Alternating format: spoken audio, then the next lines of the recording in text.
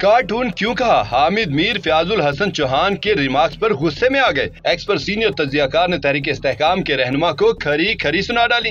निजी टीवी के प्रोग्राम में फ्याजुल हसन चौहान थोड़े गुस्से में नज़र आए। उन्होंने अरबों रुपए टीवी चैनल्स को दिए जाने का इल्ज़ाम आयद किया और कहा की एंकर छह बजे ही बता रहे हैं फार्म 45 आ गया। सारी ज़िंदगी इलेक्शन लड़ते गुजर गई ये कौन सा फार्म 45 है जो छह बजे आता है? पोलिंग का वक्त खत्म होने के बाद स्टेशन की हदूद में मौजूद अफराद वोट कास्ट करते हैं। फिर गिनती होती है। चार से पाँच मरतबा। ये हामिद मीर और मंसूर अली खान समेत दीगर कार्टून किस्म के लोगों के पास फॉर्म 45 कैसे पहुँच गया? यहाँ अरबों डॉलर लगे हुए थे। हामिद मीर ने क्लिप एक्स पर शेयर किया और फयाजुल हसन चौहान को खरी खरी सुना दी। कहा कि इन साहब की तकलीफ़ मुलाहजा फरमाइए। हमेशा की तरह अपने असली आकाओं के हुक्म पर एक और झूठ बोल रहे हैं। मैंने शाम छह बजे किसी रिज़ल्ट का ऐलान नहीं किया, लेकिन इन्हें हुक्म था कि इल्ज़ाम हामिद मीर पर ही लगाना है। आजकल इस किस्म के कई सियासतदान और सहाफी मेरा नाम लेने के मुश्ताक रहते हैं। हामिद मीर ने फिर एम के एम रहनुमाओं की प्रेस कॉन्फ्रेंस का एक और क्लिप शेयर किया